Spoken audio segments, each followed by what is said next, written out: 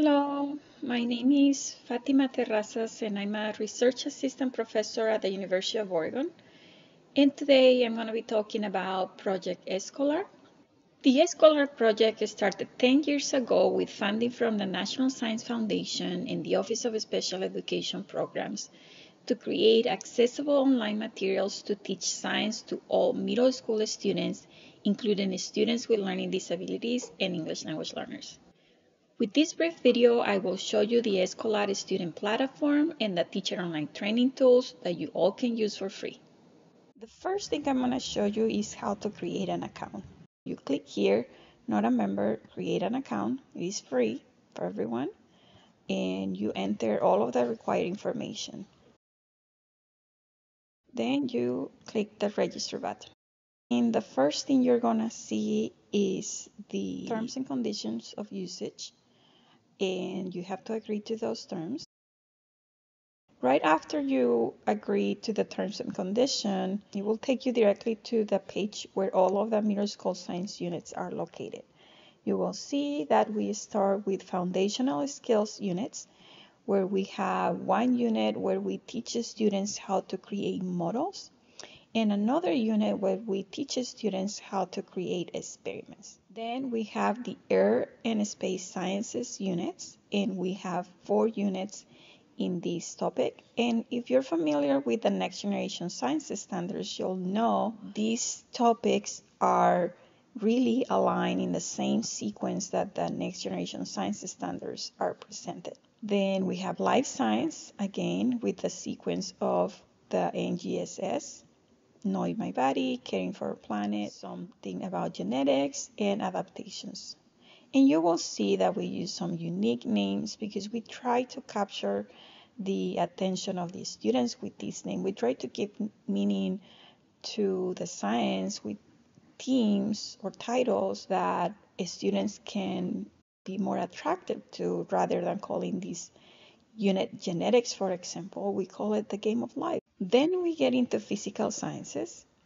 And in physical science, we have five different units to cover all of these standards. First one is uh, properties uh, of matter, energy matters, the world of waves, forces and interactions, and amazing chemistry. So with Escolar, you will have access to all of these different units but you also will have access to some of the resources that we have for parents and teachers. And for teachers, we have a brief online tutorial that really tells you all of the things that you need to do to prepare to use our curriculum. We are in this tutorial and here is a navigation bar so you basically have to start from top to bottom. The first thing is to learn how your students are going to use access this program. Basically, we tell you to contact us. You can use the program in an iPad and a laptop. Really, any computer device will work as long as it has a browser. And we like to use Chrome because we like to use all of the apps that are attached to Chrome but you can use Safari or any other browser of your preference too.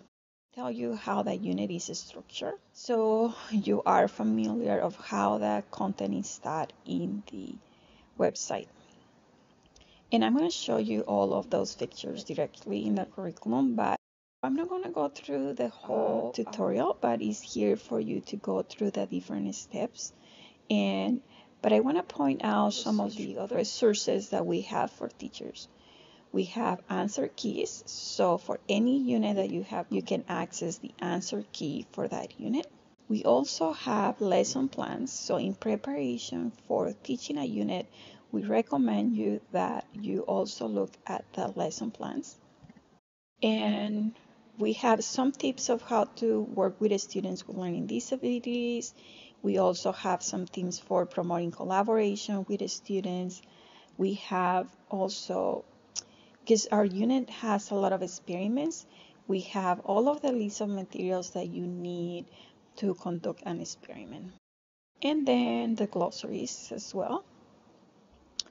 Oh, and very importantly, we have the student reports. If you create accounts for your students and you link them to your class, you can access um, reports from all of the quizzes that students complete in this program. Now I'm going to show you some of the main features of the curriculum units, which is the platform for students. And I'm going to do this in the Earth Place in the Universe unit. The way the units are structured are based on stages, which are like chapters in a book. So this unit has three stages. And within each stage, there are lessons which cover all of the content that is covered in the unit. Each lesson starts with a warm up, which is a way for teachers to find out uh, what students already know about the unit. Among some features in our program is the ability to use the text to speech. So if you highlight text anywhere in our website, you can use the text to speech option to have the content be read to you. During the day, the sun appears to move across. Another feature is the notebook feature. So if there are questions that students need to answer, they can use the notebook, read the question, then type the answer, and then save their answers and their notes up here. The notes can be edited, they can be deleted, whatever they want to do with them. Among other features in our website is the vocabulary definitions. So very specific vocabulary words have been selected by us because they are technical words, there are not frequently used words that need definitions to help a student understanding on the concept. So they appear in our website throughout. They are in a blue font. When you click on it, the definition pops up and some of them have images as well. This is a read and discover activity which happens after the word map. Students learn about the content by reading, looking at some images, but there are very different ways to which we teach the content. For example, in this one, we also have an experiment. We have a lot of experiments and models that students have to create. And when students do the experiments, they fill out a lab sheet. We have different ones. If there is a model, it's a very different one, but students can uh, type in here to complete this activity and then they can save it at the end and send it to their teachers they can upload images of the model that they created. And there are multiple steps for the experiment. So we work with them throughout the whole experiment, giving them instructions. In this case, they collect some data, so we have a table for them to complete as well.